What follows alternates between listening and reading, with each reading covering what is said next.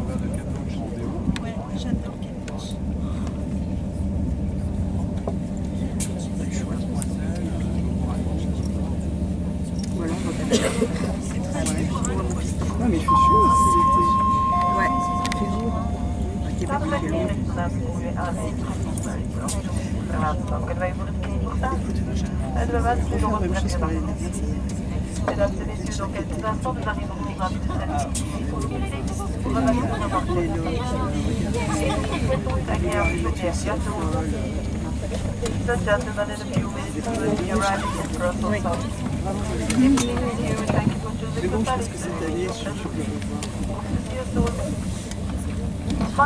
Qu'est-ce que tenants fait deux semaines euh.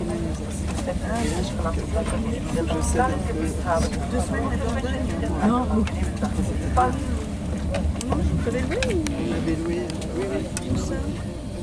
C'est c'est à l'ouest, non, à l'est.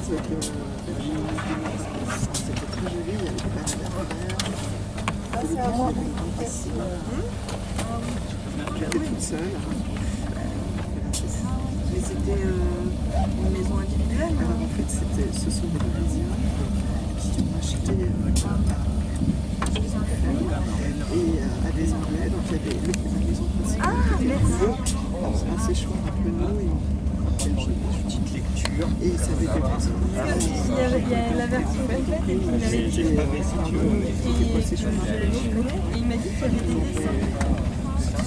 Mais non, mais ça peut être des supports euh, sympas, tu vois, pour la. Ce qui était sympa.